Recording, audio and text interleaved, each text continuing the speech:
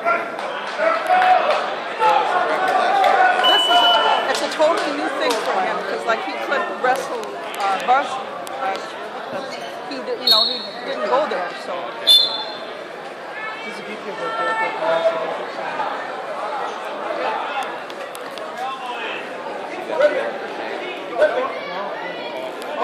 shoot, shoot, shoot.